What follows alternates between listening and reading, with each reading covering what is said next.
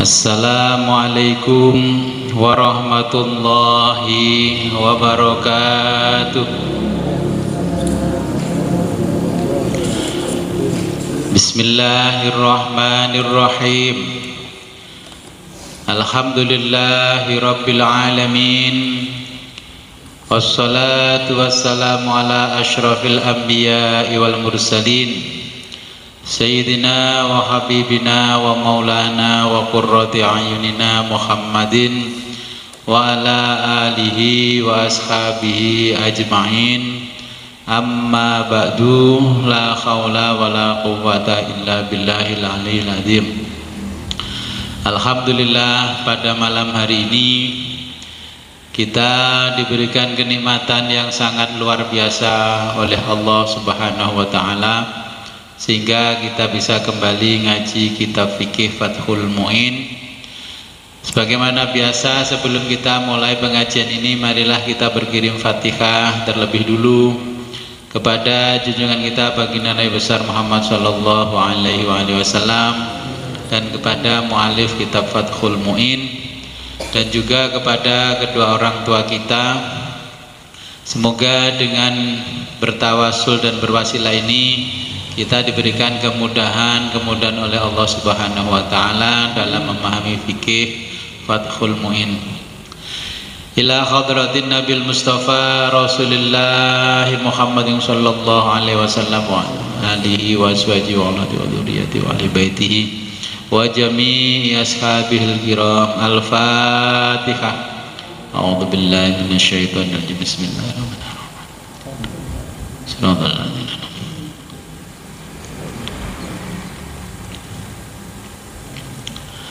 وثم إلى حضرة العلامة الشيخ زين الدين بن عبد العزيز المالباري الشافعي رحمه الله تعالى ونفعنا به وبعلومه في الدارين ولوالديه ولمشايخه الفاتحة أعوذ بالله من الشيطان الرجيم الذين أنعمت وثم إلى أرواح آبائنا وأمهاتنا وجداتنا وأصولنا وفروعنا وعلى الخاذرين في مجلسنا هذا الفاتحة أعوذ بالله من الشيطان الرجيم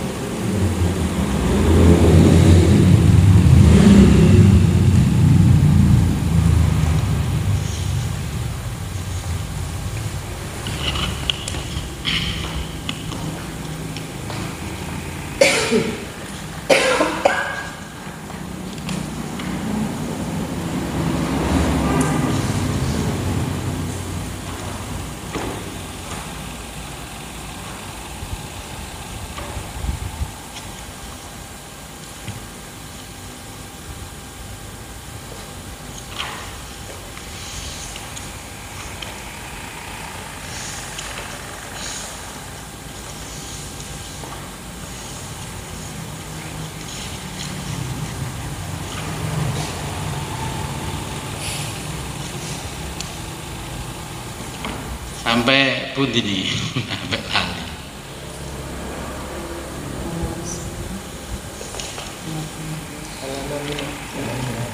Tentang sami halaman ini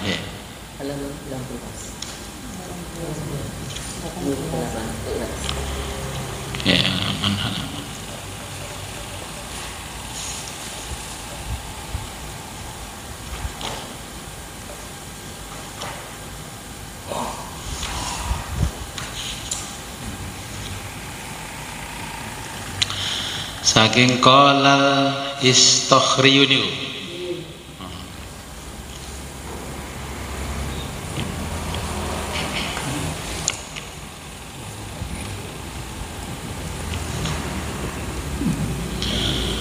Bismillahirrahmanirrahim. Qala al-muallifu rahimahullahu ta'ala wa nafa'ana bihi wa bi ulumihi fid amin ya rabbal alamin.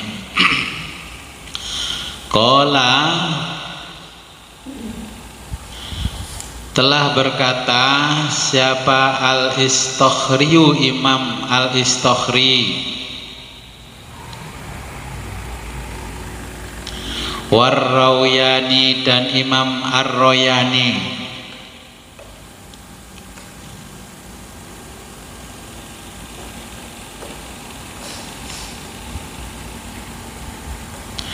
min aimmatina dari ulama kita.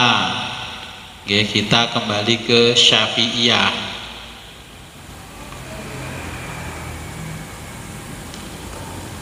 Kamalikin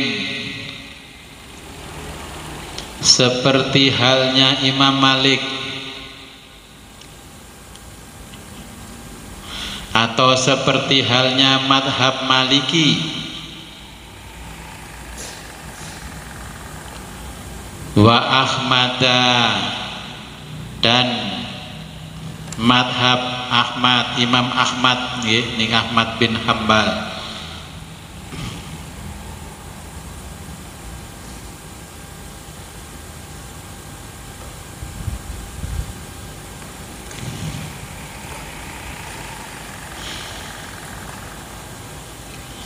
Innahuma bahwa kotoran keduanya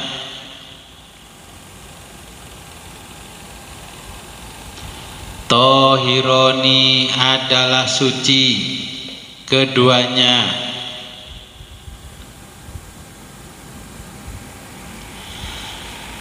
Minal makuli dari al-makuli hewan yang halal dimakan.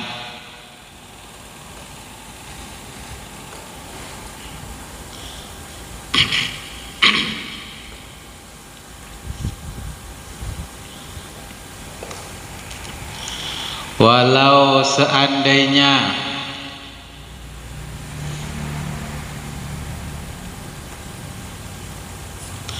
rosat rosat bahasa Jawanya teledong.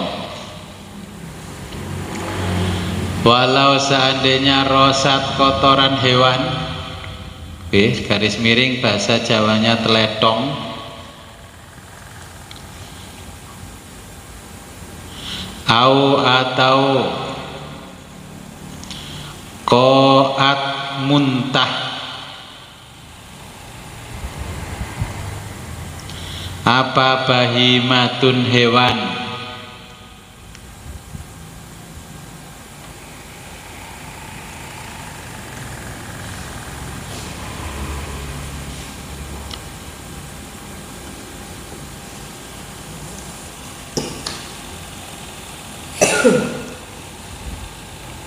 Habban biji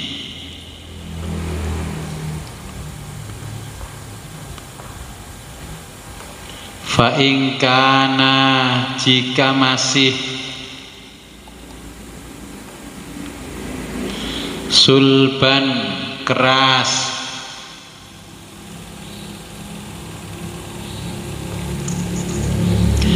Bihaisu sekiranya.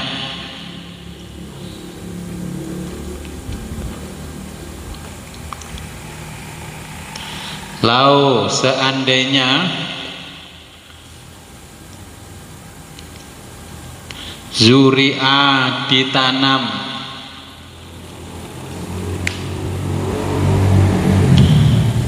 Nabata masih bisa tumbuh.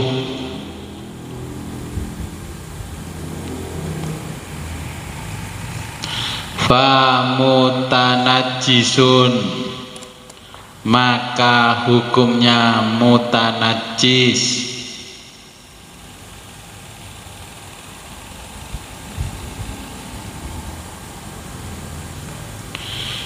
yursalu dengan dibasuh.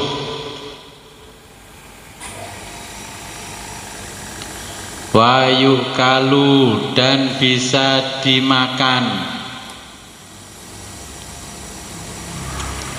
Wa illa dan jika tidak bisa.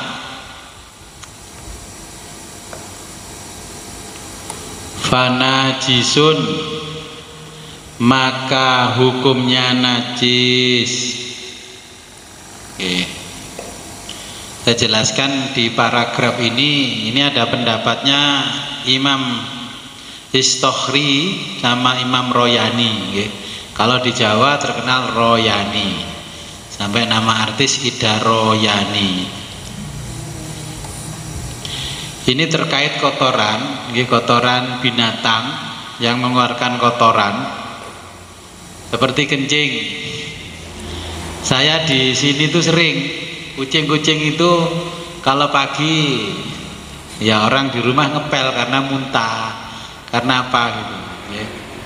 Maka seperti yang terjadi di sini ini dibahas sudah dibahas beberapa tahun yang lalu, okay jadi kotoran binatang yang seperti itu cukup dipel bersih. Ya, kalau nggak dipel hukumnya najis. Kemudian yang mengeluarkan seperti biji-bijian, ya kan ada eh, apa namanya binatang mengeluarkan kotoran seperti biji. Kalau di sini malam, dulu sebelum pintu-pintu ini ada, ini langganan kotoran dibawa oleh burung-burung atau apa kelelawar. Jadi sini banyak biji-bijian. Ya. ya terpaksa harus disucikan. Ya, harus disucikan. Tapi sekarang alhamdulillah bawah sudah ada pintu, sudah enggak lagi. Ya, terus di atas sudah saya kasih itu nggak bisa masuk. Nah ini kotoran seperti itu. Ya. Kalau yang mengeluarkan kotoran binatang yang halal dimakan, itu tidak najis ya, tapi yang nggak halal dimakan jadi najis nah, hanya saja tinggal lihat kadarnya yang dikeluarkan berapa. Seperti tadi disebutkan muntahnya binatang kucing. Ya najis tapi najisnya nggak berat najis ringan. Cukup dipel dibersihkan yang kena muntahan saja. Terus bagaimana kalau ada binatang makan sesuatu? Lah sesuatu itu tidak hancur di perutnya kemudian dikeluarkan lagi nah kemudian yang dikeluarkan hukumnya kan jadi kotoran. Terus dibikin kopi. Kopinya mahal lagi paling mahal di dunia kopi luwak. The kopi luwak itu memang saya lihat sendiri ke Banyuwangi punyanya temen itu. Ternyata memang diberi makan biji kopi itu ternyata pilihan bukan sembarang kopi. Nah terus dimakan oleh luaknya nah setelah itu yang dimakan kan kulitnya sama rasa-rasanya biji kopinya nah itu keluar lagi. Ikut kotoran lah kotorannya itu dipisahkan dari kopinya itu. Saya nggak bisa memberikan jawaban hukum fikihnya. Saya amati saja di situ. Ini berarti sudah berproses di dalam perutnya hewan. Pasti kan berproses di dalam tempatnya kotoran. Nah ini kira-kira kalau menurut ilmu bodoh-bodohan lah. Gak perlu baksul masail. Kira-kira najis enggak nah tapi saya lihat juga kopi luwak itu ada stempelnya halal mu'i. Iki iki halal biene gitu loh. Saya itu gitu ini mereknya saja kopi luwak apa memang kopinya seperti yang di apa disampaikan di dalam produknya itu kan kopi yang dimakan oleh luwak baru dibikin kopi.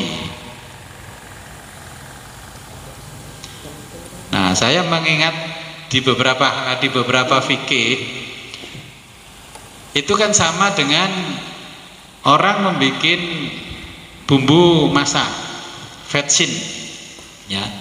Ini kristal-kristal ini nggak bisa mengkristal ya. Ini bahan ini nggak bisa mengkristal. Kalau apa namanya saluran besi cerobongnya ini tidak dilumuri dengan lemak babi. Nah, ini kalau nggak ada lemak babinya cerobongnya ini nggak bisa mengkristal. Putih-putih bersih itu nggak bisa. Nah, ini kira-kira halal apa haram? Tapi kita semua setiap hari menjumpai itu di dapur-dapur ibu-ibu muslimin muslimat.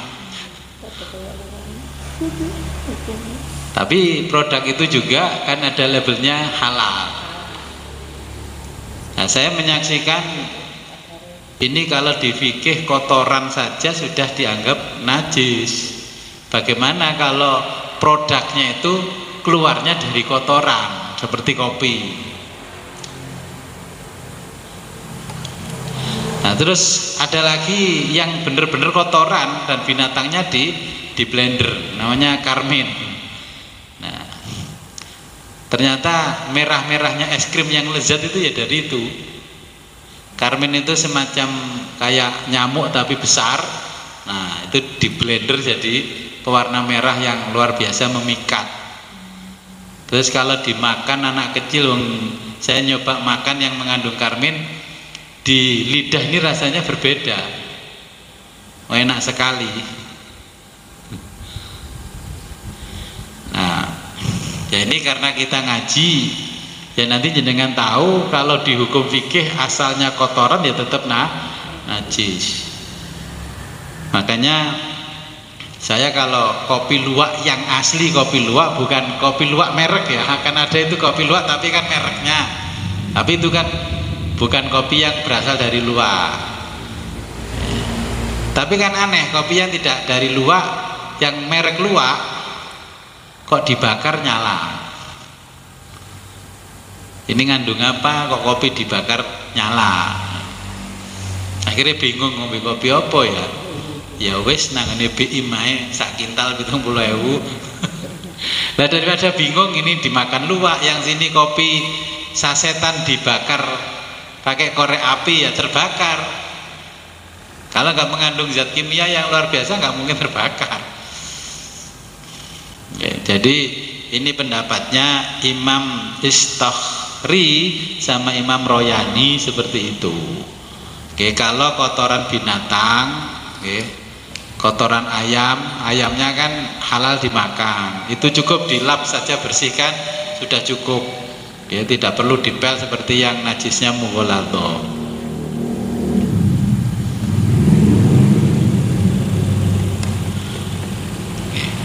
kadang-kadang ya kita banyak menjumpai Bagaimana kalau binatang yang mau disembelih terus dikasih makanan yang najis-najis? Nah, ini yang perlu kita pertimbangkan. Terus disuntik. Suntik itu untuk penyakitnya hewan, tapi kan nggak boleh dimakan oleh manusia selama tiga bulan.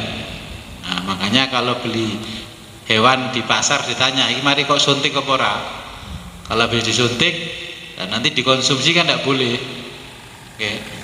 karena apa karena sekarang kan banyak kambing yang diternak ternak nggak makan rumput makannya ampas tahu ya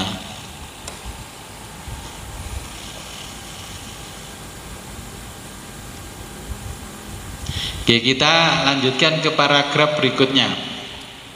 Walam yubayinu walam dan tidak yubayinu menjelaskan garis dalam kurung para ulama jadi para ulama tidak menjelaskan. Walam yubayinu dan para ulama tidak menjelaskan hukma hukum.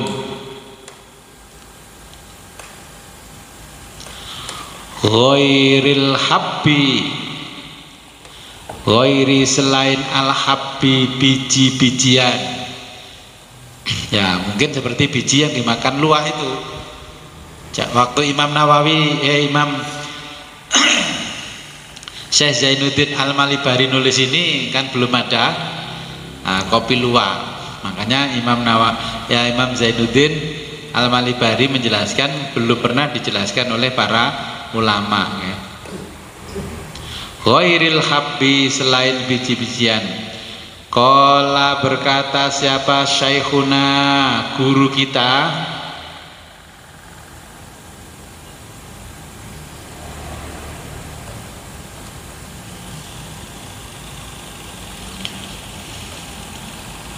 Walladhi yang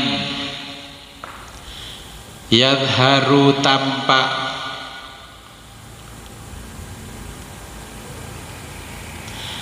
annahu biji-bijian.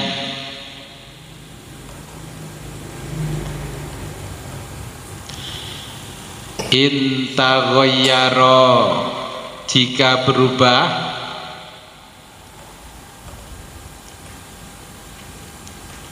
an halihi dari bentuknya. Qabla sebelum al balai ditelan.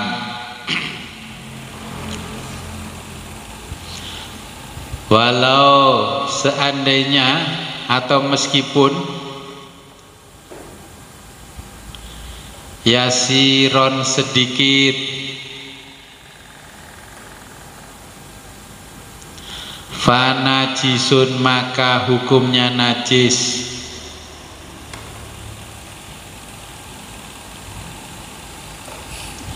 wa illa jika tidak jisun maka hukumnya mutanajis nah di paragraf ini Imam Zainuddin menjelaskan walam yubayinu hukma ghairul khabbi. Jadi para ulama tidak menjelaskan ya hukumnya selain biji-bijian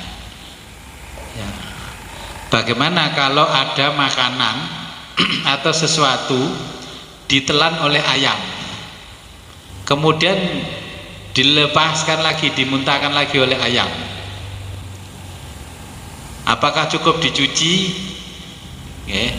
atau bagaimana? Nah, di sini seperti dicontohkan kita sering kalau makan khususnya di Jawa makan soto ayam itu kan ada uritan. Nah uritan itu kan ada yang keluar ada yang ditelan ada yang masuk. Nah di sini oleh Imam Romli dijelaskan ya dalam nihayahnya kitab nihayah bahwa hukum telur yang ditelan kemudian keluar masih dalam keadaan utuh. Seperti telur itu hukumnya tidak najis tapi mutanajis. Hanya terkena najis. Mutanajis kan hanya terkena najis. Berarti dicuci bersih sampai suci sudah boleh digunakan lagi. Cuman kalau kopi kopi itu kan kulitnya habis. Bijinya masih. Ya kopinya tidak berubah kopinya cuman pertanyaannya itu najis apa mutanajis kopinya? Kalau hukumnya mutanajis berarti kopi itu cukup dicuci nanti dijemur digoreng. Ternyata prosesnya tidak semudah yang kita bayangkan untuk membuat kopi luwak. Saya survei ke tempatnya nggak semudah itu. Ternyata kopi-kopi pilihan itu juga prosesnya luar biasa cara menjemurnya harus begini kelembapannya kekeringan harus begini. Ya, ada ilmunya sendiri.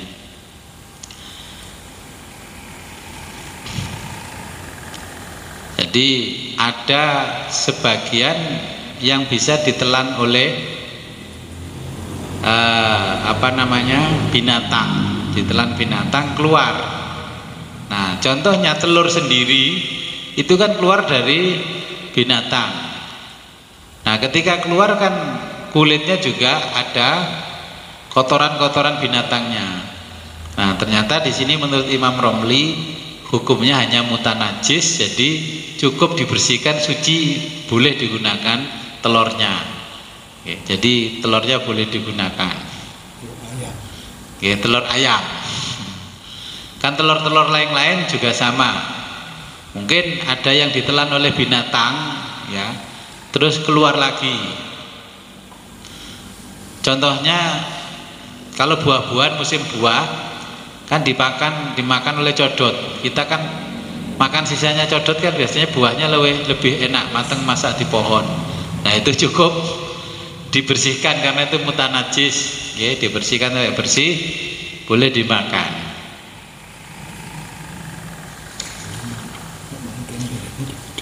Oke kita lanjutkan. Wafil majmu'i dan di dalam kitab al majmu' al majmu' ini kitabnya berjilid-jilid. Syarahnya muhadzab okay.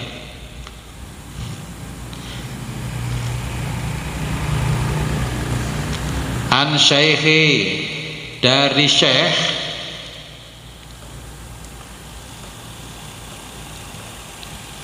Nasrin Nasir jadi Neh Syekh Nasir.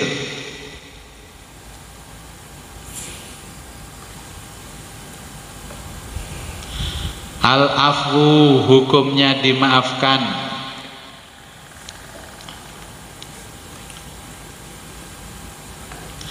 An bauli karena kencing. Bakori sapi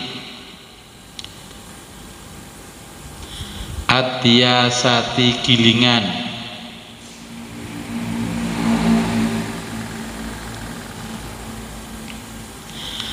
Alal habbi pada biji-bijian.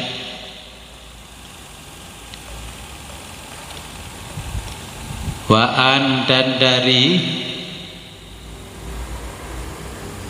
al-juwaini imam al-juwaini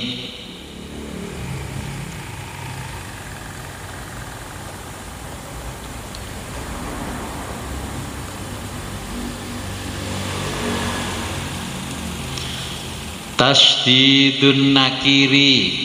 Tasdidu beliau sangat. An nakiri mengingkari. Oke, beliau sangat menolak lah kalau zaman sekarang. Tasdidun nakiri beliau sangat mengingkari garis miring menolak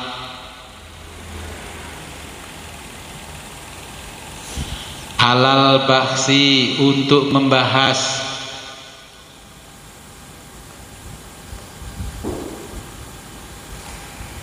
Anhu tentang biji tersebut.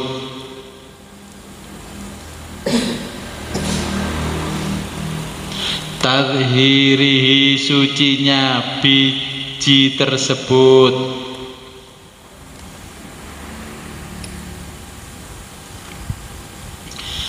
nah ini kalau kita di kitab Al-Majmu' nah ditulis Imam Nawawi sarahnya kitab muhadzab. Nah ini Syekh Nasir bahwa biji-bijian yang terkena kencing sapi yang digunakan untuk menggiling. Dulu memang belum ada diesel ya. Giling itu kan pakai sapi terus berjalan terus sambil sapinya mengeluarkan kotoran kalau kecipratan saja masih dihukumi makfu tapi harus dibersihkan ya. Bagaimana kalau jenengan membuat satu produk makanan, di sini tempat mengolah makanan, terus di sebelahnya itu binatang ternaknya. Kira-kira rawan di, terkena percikan air kencing binatang apa enggak? Zaman dulu waktu saya kecil kan orang giling tahu itu pakai sapi juga muter, gilingannya batur Dulu waktu digiling sama sapi terkena percikan air kencingnya sedikit-sedikit tahu nggak ada yang kecut. Sekarang pakai diesel tahunya sehari besok paginya sudah kecut. Wah ini kurang cairan sapi. Loh iya sekarang beli pagi ditamin sorenya masuk kulkas sore digoreng sudah bau kecut. Ya ini saya mikir dulu masih diputer sapi itu dua hari tiga hari tahu itu satu minggu mampu bertahan. Dikasih air saja nggak usah masuk kulkas. Ini sekarang modern semuanya pakai mesin nggak kecipratan kena air kencingnya sapi kok malah cepat basi. Ini malah mengeluarkan uh, seperti alkohol yang bikin pahit itu kan alkoholnya. Nah ini nggak nggak kena percikan kencing binatang tapi kecampuran alkohol. Makanya ini Imam Juwaini tidak mau membahas itu. Oke, karena dianggap nggak penting. Sudah tahu najis kok dibahas. Makanya etikanya baksul masail itu perkara-perkara yang nggak perlu dibahas ya nggak usah dibahas. Nanti malah melebar-lebar.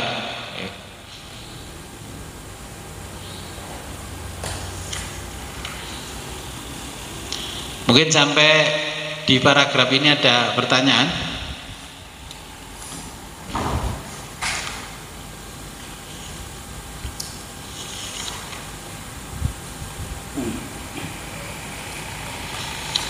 Terus Nggih.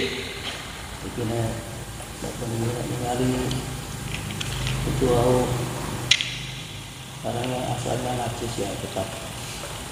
Najis nak mungkin ya macam apa?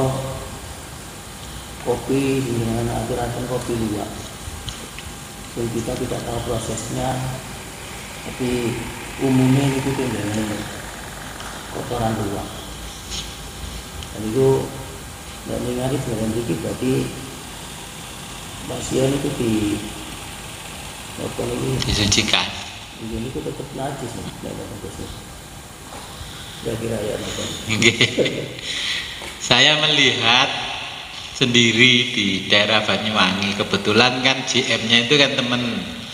Nah saya mampir. Di sini tempat prosesnya oh ini. Jadi macam-macam kopi yang dipunyanya apa itu PTPN itu. Nah di situ ternyata kopi dipilih-pilih. Terus saya tanya kopi yang ini untuk apa? Iki loh mas kopi yang sebenarnya nggak laku di Indonesia. Ini dulu oleh orang-orang ahli kopi di zaman Belanda Belanda sudah pulang tapi setelah Belanda pulang kopi yang seperti itu dimereki kabu anu americano. Akhirnya kopinya laris sampai sekarang kopi americano. Bosone orang badas itu kopi gogrokan dikasih label americano jadi laris. Kemudian macam-macamnya di situ. Sampai saya menghafalkan jenis-jenisnya kopi. Terus satu kemudian ke tempat penangkaran luak yang untuk produksi kopi. Saya tanya ini prosesnya gimana? Nah ternyata memang kopi biji pilihan itu yang baru di itu dimasukkan ke situ buk tidak semuanya. Ternyata luak itu tidak mau makan sembarang kopi. Terus saya tanya gini ini dulu yang tahu siapa? Kalau kopi yang keluar dari apa duburnya luak kok enak ya katanya Belanda dulu itu. Nah kemudian prosesnya saya amati. Saya tidak komentar apa-apa di situ karena saya nanti kalau komentar pulang nggak dikasih kopi lanang. Ada kopi lanang. Kalau di Banyuwangi itu kopi lanang. Kopi lanang itu ternyata kopi itu ada kopi yang jenisnya jantan pejantannya kopi. Nah itu dipilih jadi kopi lanang jenengan bisa beli sekarang kopi lanang. Memang rasanya kopi lanang itu beda dengan kopi biasa. Nah, maksud saya di situ saya ngamatinya begini. Ini kan dimakan terus berproses di perutnya luak dan di situ tempat kotoran. Terus keluarnya juga dari tempat kotoran. Terus teman saya yang sebelahnya gini. Ini pertanyaan teman saya Mas, apakah nggak sama ini dengan prosesnya madu? Nah, dengan tahu nggak prosesnya madu bagaimana? Saya begini, kalau menurut saya, setahu saya kalau madu itu lebah mengeluarkan madu bukan dari tuburnya tapi dari mulutnya. Nah, ini dari jalan kotoran kalau madu keluarnya dari mulutnya lebah nah ini dari tuburnya binatang. Ya saya ditanya oleh beberapa teman yang di situ juga nah berarti menurut fikih halal apa haram? Kalau pendapat pribadi saya haram. Tapi kalau itu ada labelnya MUI ya monggo kerso berarti ya dosanya jariah ya nanti ada yang nanggung sendiri nggak apa-apa minum aja oh, ada yang berani ngasih label halal. MUI itu kan sebelum mengeluarkan label halal kan sudah disurvei ya diteliti dan sebagainya. Tapi saya berpegang teguh begini kalau saya secara pribadi saya tidak minum kopi luwak. Karena saya minum kopi luwak rasanya lezat sekali rambu-rambunya Nabi kan kalau lezat sekali harus berhenti lidah itu harus berhenti Nah ternyata kopi luwak itu satu on bisa satu juta, mahal sekali. Gitu. Aromanya khas, memang aromanya khas. Ya, saya kadang mikir gini, kita lihat kok bisa mengeluarkan khas aroma yang memukau. Tapi akhirnya saya mengingat begini, beberapa ulama berpendapat sesuatu yang sudah ditelan oleh binatang dan berproses di situ lebih dari satu jam Ya, seperti kalau kita baca di kitab I'anatul Talibin syarahnya ini Fathul Muin itu kan juga tetap dihukumi najis. Berarti kalau ulama yang sebagian mengatakan najis, sebagian mengatakan tidak najis, berarti kan di tengah-tengah ini kita ini umat ini. Berarti hukumnya jatuh subhat. Kalau subhat berarti ya harus kita tinggalkan. Nabi kan memberikan rambu-rambu. Kalau ulama bersisa berbeda pendapat, berarti kita berada di tengah-tengah namanya subhat. Berarti kesubhatannya itu setara dengan kesubhatannya makan bekecot 02. Ya, akhirnya ya karena di literatur kitab itu ulama juga berbeda pendapat, makanya saya secara pribadi tidak makan kalau jenengan menemukan dalil yang menghalalkan e, makan, ya monggo kalau menemukan dalilnya. Kalau saya tidak menemukan dalilnya. Oke, jadi menurut fikih secara dasar, oke, kalau sesuatu sudah berproses dan tempatnya itu mengandung najis, berarti ya hukumnya najis. Kalau najis berarti tidak boleh dimakan atau diminum. Mungkin ada lagi? Enggak. Kita berpikirnya gampang saja, umat itu gampang saja. Kalau ulamanya berselisih pendapat 50-50, 50-50, berarti sesuatu yang dibahas itu letaknya di tengah. Antara halal haram. Kan Nabi sudah menjelaskan innal halala bayinun wal harama bayinun. Halal ya jelas, haram ya jelas. Wong kopi garek ngombe tok leret dilebokno silite luar. Ya, jadi kalau kita posisi sebagai umat mengerti bahwa ini perselisihan pendapat di antara ulama ini saja kan tadi Imam Royani dan imam-imam yang lain juga kan masih berselisih. Kalau sudah imam-imam imam ashabnya di madhab syafi'i berselisih ya sudah kita nggak usah ini.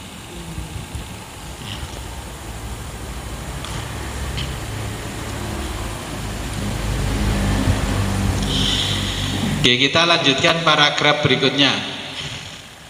Wa bahasal fazariyu Wa bahasa dan telah membahas Siapa Al-Fazari Imam Al-Fazari. Nah Imam Al-Fazari juga membahas Al-Afwa hukumnya dimakfu atau diampuni. An Ba'rin An Ba'ril Fa'roti An dari Ba'ri Tai. Al fa'roti tikus.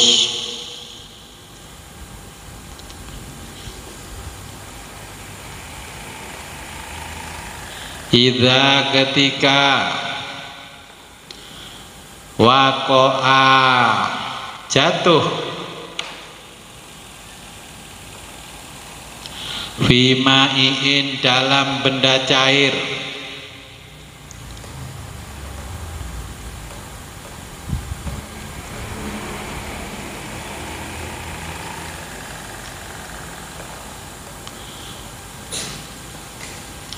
Wa amat dan hal itu umum terjadi.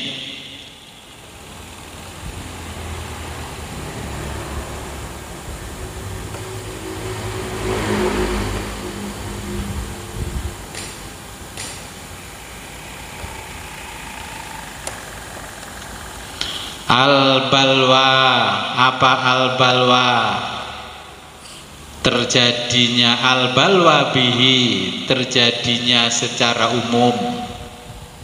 Seperti tikus itu kan hampir di rumah. Setiap orang di kita kan banyak tikus. Wa amma sedangkan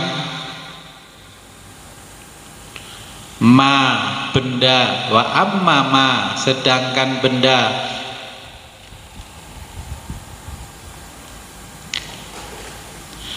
yujadu yang ditemukan. Ala di atas waroki daun.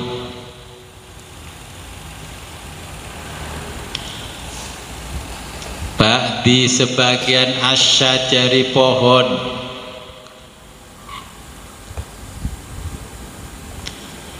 karrogwati seperti buih.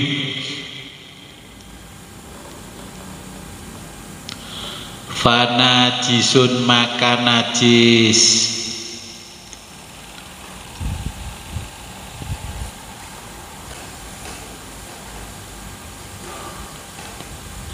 Li'annahu karena yahruju keluar min batini. Min dari batini dalam.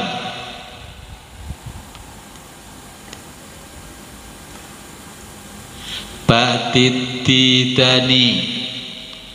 bati sebagian. Adidani ulat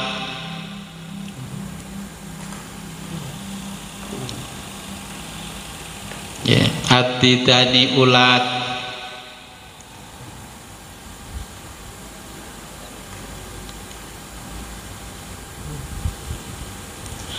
Kama sebagaimana syuhida realita yang disaksikan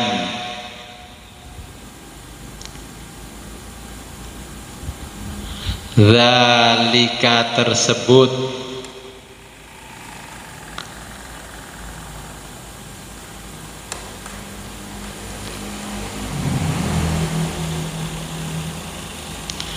Walaisa dan bukan.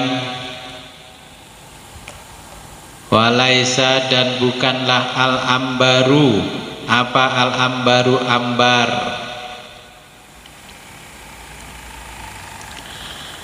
rausan adalah kotoran.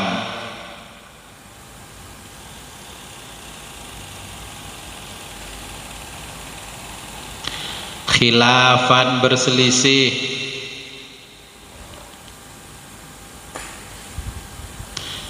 Liman sebagian ulama.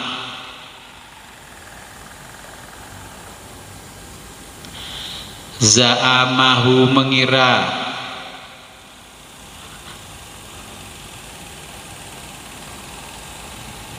Bal bahkan. Huwa ambar.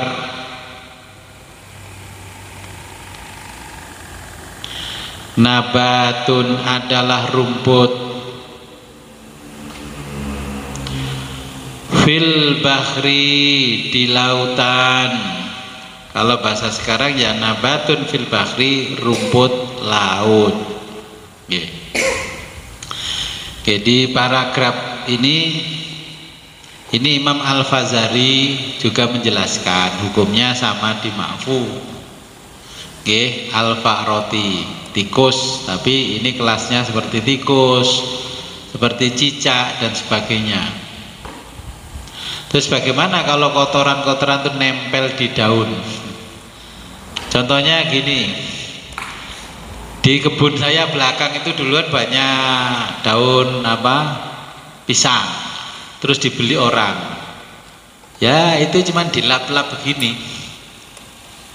Ada saya perhatikan itu kan juga ada nempel kotorannya binatang. Juga plus debunya healer mesin slabnya padi itu. Terus saya kadang batin gini ini paling dibawa ke pasar ya cuma dilap-lap itu aja. Terus orang beli daun di pasar ya sudah dilap-lap lagi di rumah. Pakai bungkus lontong dan sebagainya.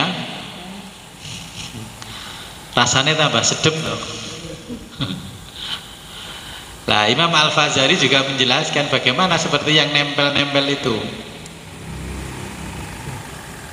Yang nempel-nempel itu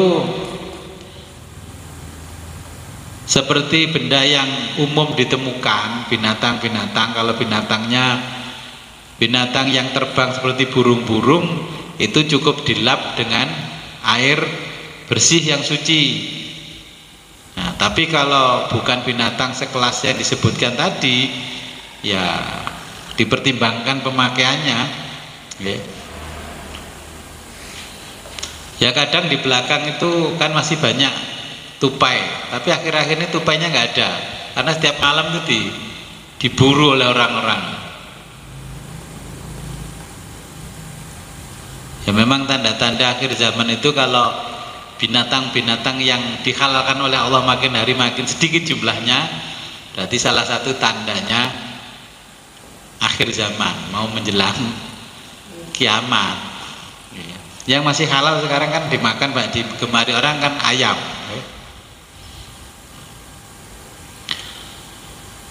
Nah kemudian ini ada yang ambar. Nah ambar bukan kotoran. Nah juga ada minyak wangi yang sumbernya dari binatang namanya misik. Nah bagaimana kalau jadi misik itu gini misik itu ternyata minyak misik yang mahal merah dan wangi kalau murah itu berarti enggak asli. Itu kaki kijang sendi-sendinya itu dipotong ternyata di dalam itu mengeluarkan cairan merah yang baunya wangi sekali. Baunya wangi. Itu minyaknya namanya misik. Ya misiknya merah. Nah pertanyaan saya begini. Dulu sekitar tahun sebelum 2000 saya pergi ke NTT waktu itu kan ada satu pulau yang dijaga tentara itu kan isinya pulau itu kayu cendana sama kayu gahru yang mahal. Dan juga banyak kijang. Dan situ memang orang tuh tahu bahwa dari kijang itu mengeluarkan minyak namanya misik. Nah kemudian di situ juga mengeluarkan minyak namanya zafaron ya Zakfaron yang pakai nulis-nulis jimat. Nah, ternyata di situ. Ketika saya juga yang kesekian kalinya menemukan binatang itu mati mati dengan sendirinya kemudian diambil oleh orang di sana minyaknya tadi yang namanya zakfaron nah, karena kita ngaji fikih minyak itu kira-kira najis enggak hukumnya? Karena diambil dari binatang yang sudah meninggal.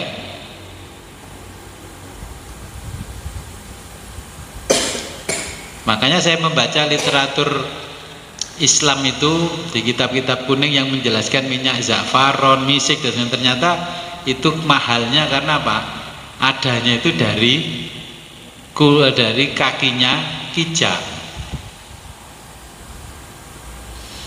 pertanyaannya kalau kijangnya sudah mati terus diambil minyaknya minyaknya najis enggak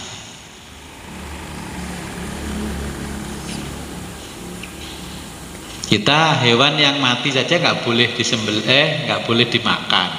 Nah ini gimana? Kalau diambil minyaknya binatangnya sudah mati apakah hukumnya minyaknya zakfaron itu jadi najis?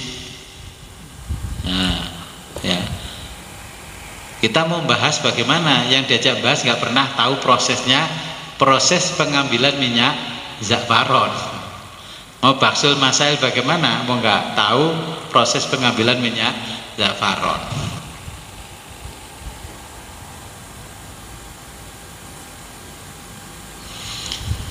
Oke, mungkin di paragraf ini ada pertanyaan.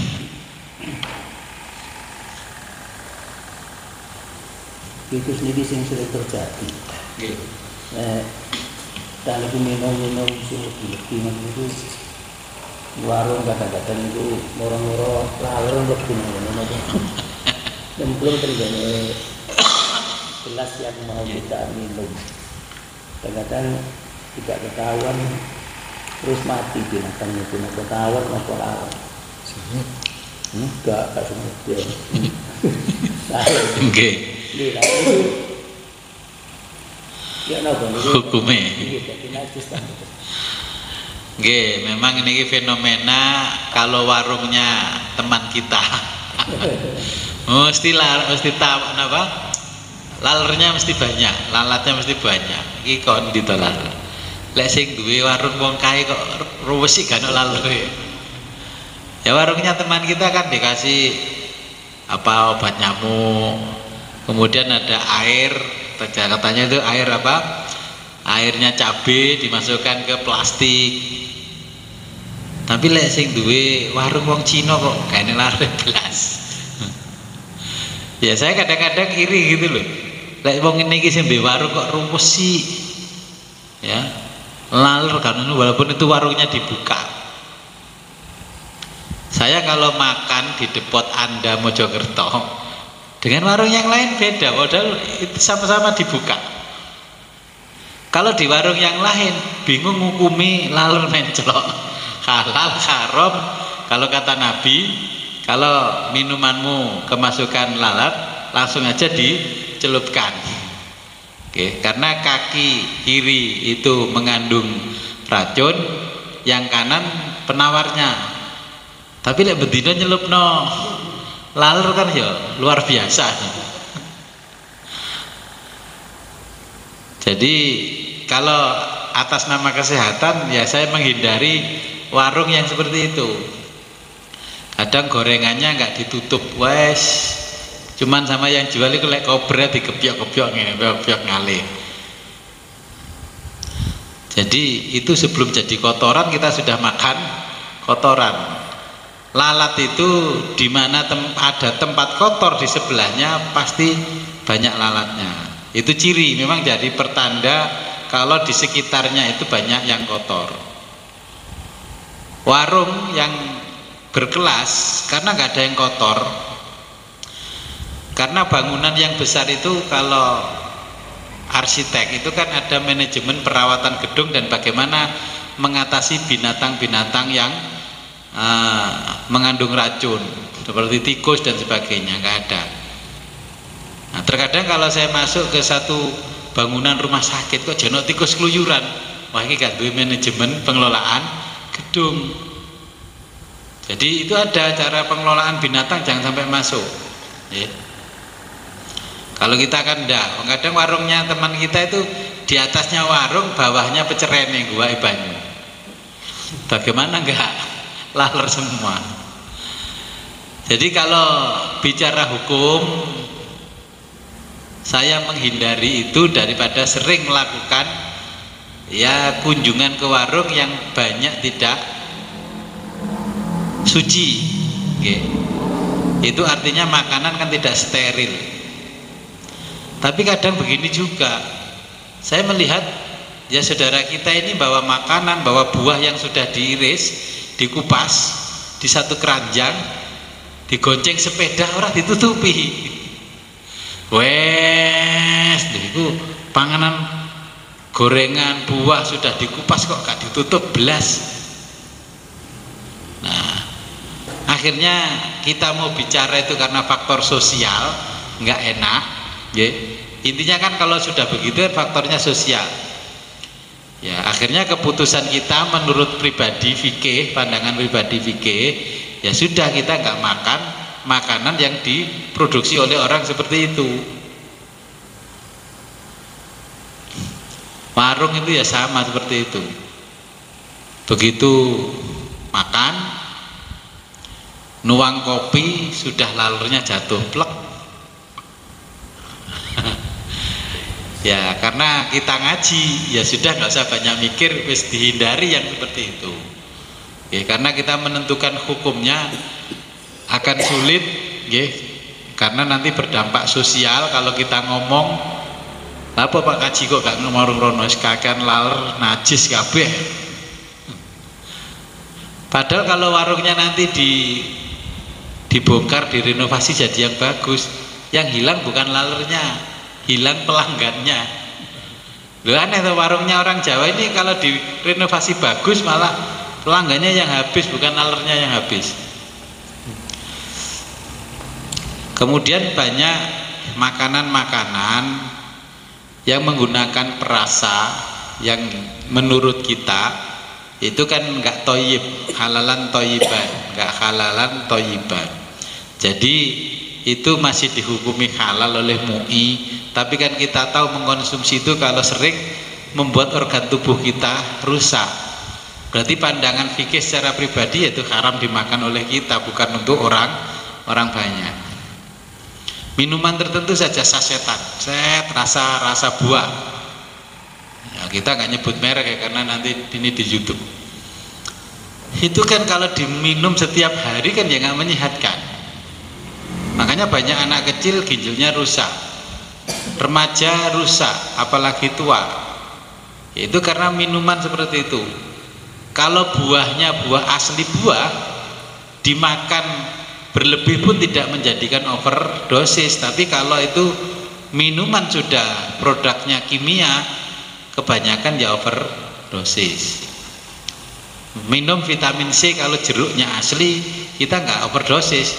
Tapi kalau minum uh, vitamin C yang buatan pabrik farmasi ya kita overdosis nah menentukan hukumnya bagaimana? Kalau untuk kepentingan pribadi sesuatu yang halal tapi nilai toyibnya itu berkurang maka kita harus menghindari.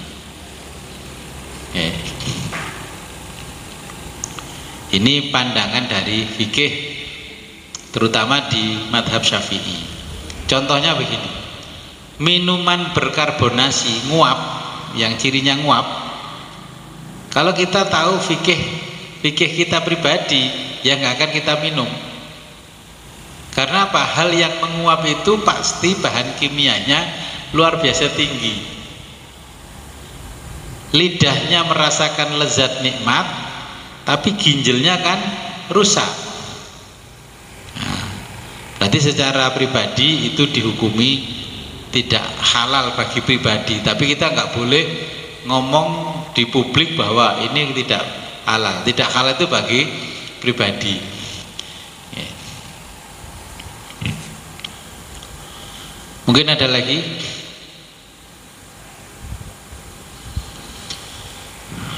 Jadi bahasan-bahasan fikih ini banyak sekali apalagi zaman semakin hari semakin berkembang kadang saya mikir begini mikir. Beli buah. Buahnya masih kemasan di kardus impor dari Cina.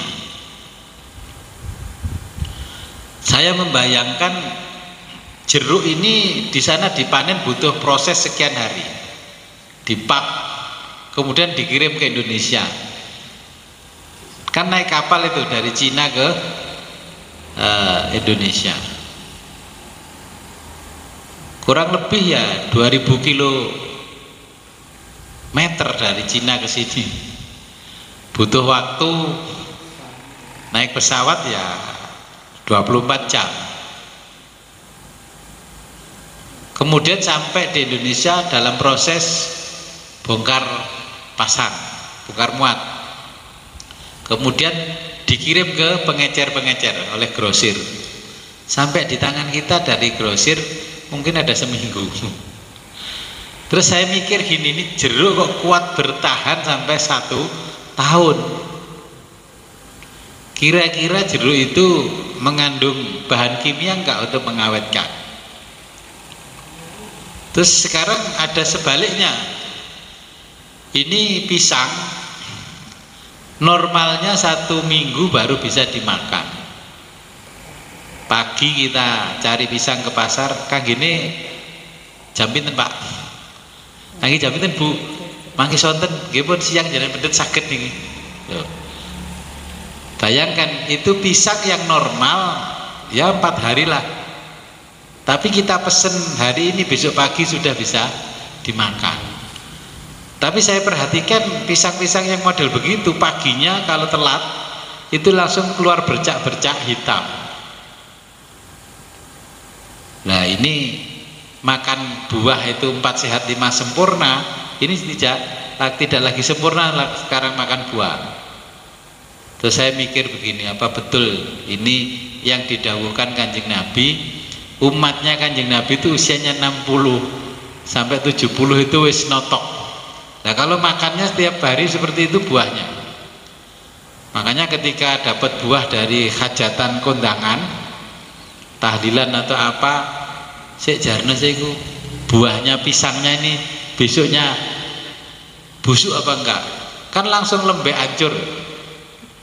Nah, ini kan juga menjadikan kita enggak halalan toiban. Nah, banyak sekali semangka ya gitu mau merah ya disuntik ya paling tidak kalau kita ngaji kita mendapatkan pengetahuan untuk rambu-rambu kepentingan pribadi. Nggih, walaupun secara umum baksul masail keputusan MUI tetap dihalalkan ya wis terserah sana.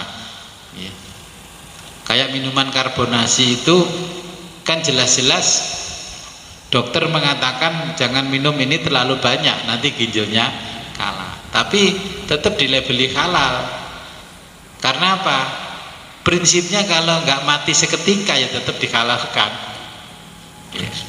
Mati ini alon-alon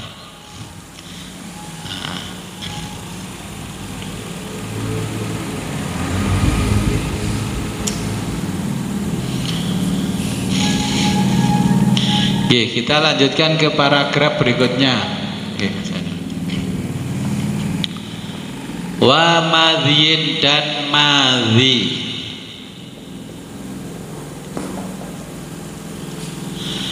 Bimu jamatin dengan zal yang di titik atau zal yang bertitik atau di titik ya. Jadi madhi bukan madi wa dan madhi bimu jamatin dengan zal yang dititik. Lil amri sebab perintah.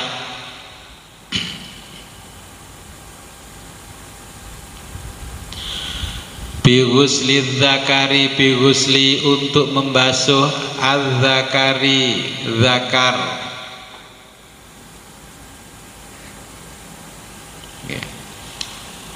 alat kelamin laki-laki zakar.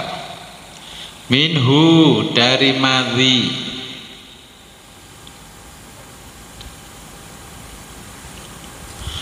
Wahwa madhi adalah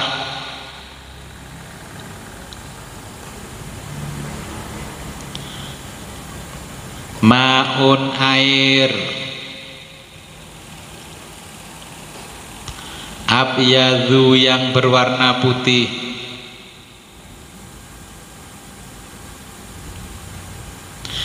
Au atau asfaru berwarna kuning.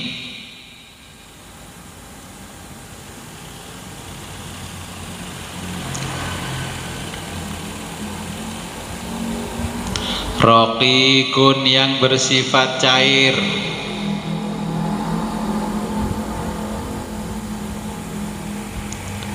yakhruju yang keluar.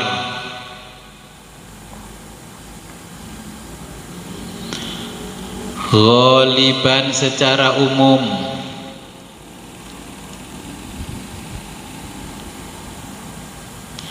Aidha sauroni. Aidha ketika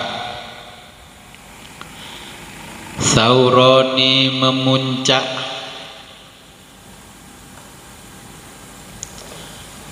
apa as uh, sauroni syahwati memuncak asyahwati syahwat?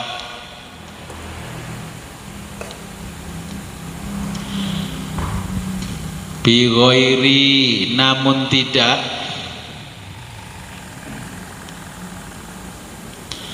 Syahwati syahwat.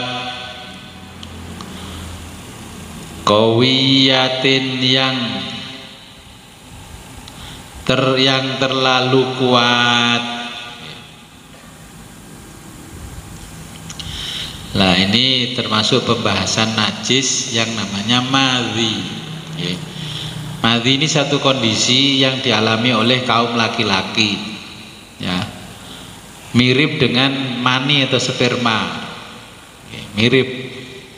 Nah keluarnya bukan karena orgasme. Oke, biasanya mati itu karena kecapean. Kecapean secara fisik.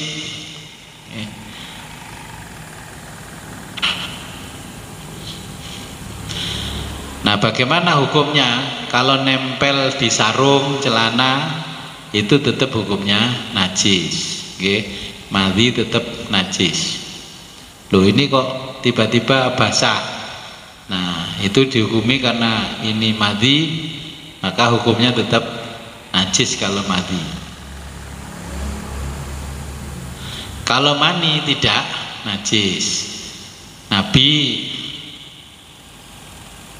ketika sarungnya kainnya itu terkena uh, pancaran maninya setelah berhubungan intim dengan istrinya itu cuman diketok-ketokkan gini pakai jarinya habis itu bisa dipakai sholat lagi kalau itu mani jadi tidak najis. Selain mani madi wadi juga najis.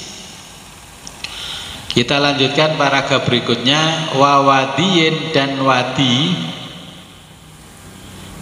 Sekarang wadi. Bimuh malatin dengan dal yang dititik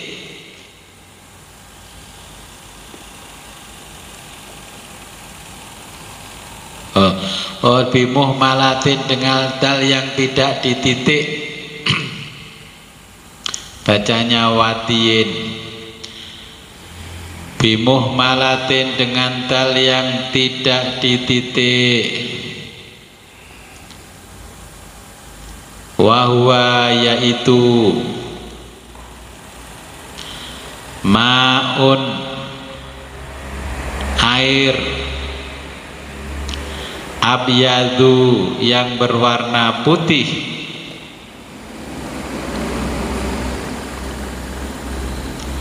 Kadirun keruh.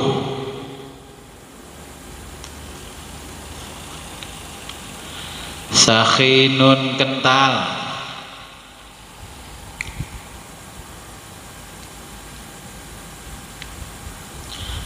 Yakhruju keluar yakhruju yang keluar goliban secara umum.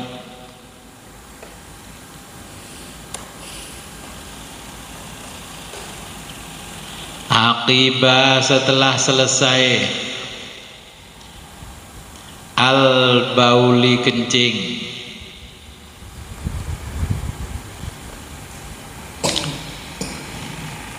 Au atau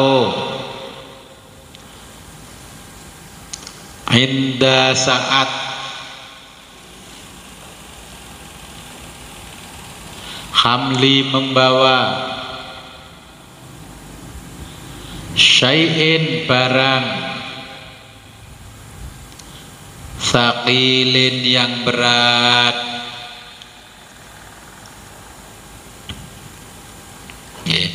jadi Jadi ada madhi, ada wadi.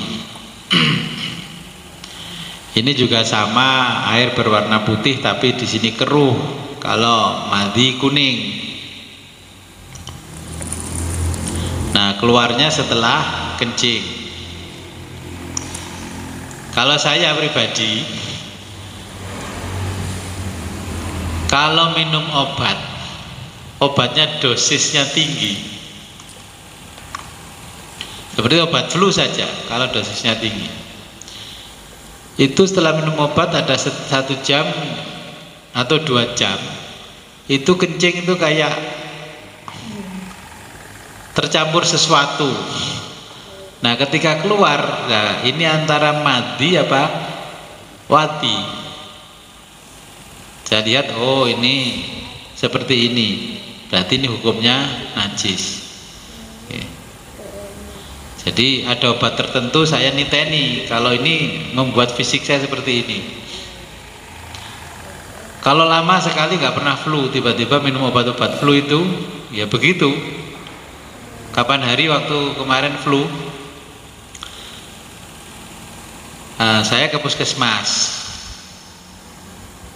Nah, terus saya diperiksa dokter, cuma ditanya-tanya, mulai kapan? Ya tadi malam.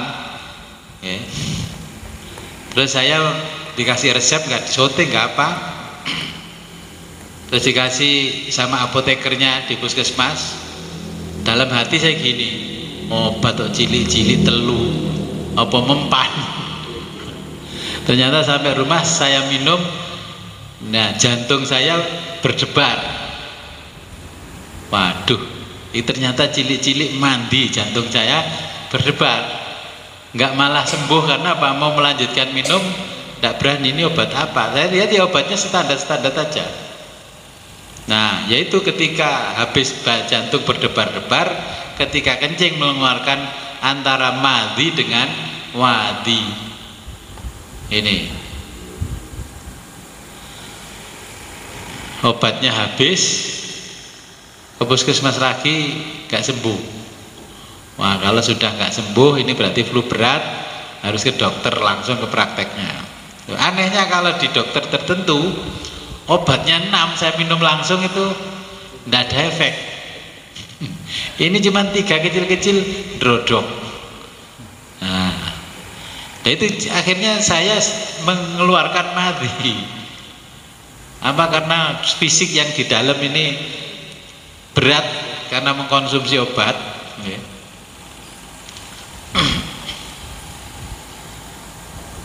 Oke, mungkin ada pertanyaan.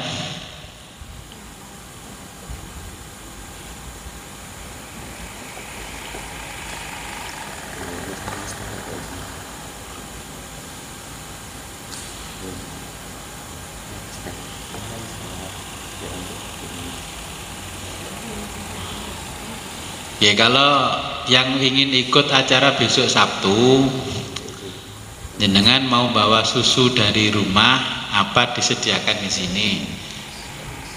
Nah okay. untung kemarin belum jadi beli susu. Biasanya kan saya siapkan jauh-jauh hari. Ya kalau saya sediakan nanti jenengan kan sudah baca atau di situ? Nah di aplikasinya sudah muncul. Ya nanti saya siapkan susunya di sini. Ya jadi maksud saya kalau memang disediakan di sini kan nanti bisa sebelum acara saya siapkan. Ya didoain dulu nanti biar bisa. Waktu kita ngajinya lebih lebih lama.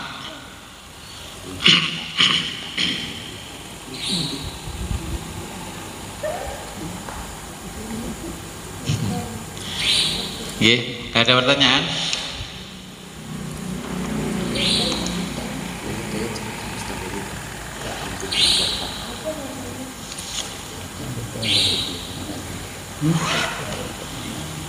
Nah, seperti burung ini, kalau karpet ini nggak dilipat ya ini bisa, nah kotorannya jatuh ke bawah ini.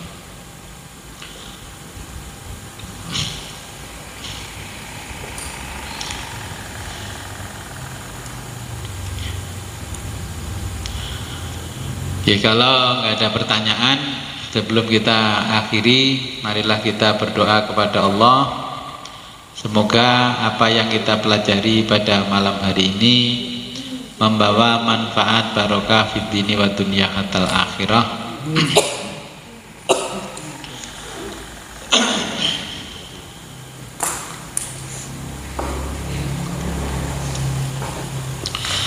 A'udzu billahi minasyaitonir rajim. Bismillahirrahmanirrahim. Allahumma salli wa sallim wa barik ala Sayyidina Muhammad wa ala ali Sayyidina Muhammad wa ala kulli sahabati Rasulillah ajma'in. Subhanallah wa bihamdih adada khalqih wa ridha nafsih wa zinata arshih wa midada kalimatih. Allahumma fir lana maghfiratan tuslihu biha sya'na fid darain. Warhamna rahmatan nasr Nas'adu biha fid darain wa tub alaina taubatan nasuhan la angguzuha abadan. Wa alzimna al-istiqamata la azihu anha abadan. Allahumma anta rabbana la ilaha illa anta alaika tawakkalna. Wa anta rabbul arshil azim ma sya'allahu kana wa ma lam yasha' lam yakun. Wala khawla wala quwwata illa billahil alil azim a'lamu anna Allah ala kulli syai'in qadir wa anna Allah qad ahata bi kulli syai'in ilma. Allahumma inna na'udzubika min syarri nafsina wa min syarri kulli dabbatin anta aqidun binasiyatiha inna rabbana ala siratim mustaqim wa sallallahu ala khairi khalqika sayyidina Muhammadin wa ala alihi wa sahbihi wa barik alhamdulillahi rabbil alamin. Al-fatihah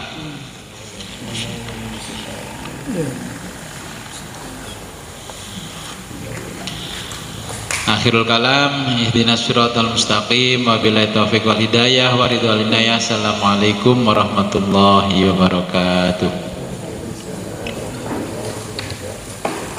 Uh.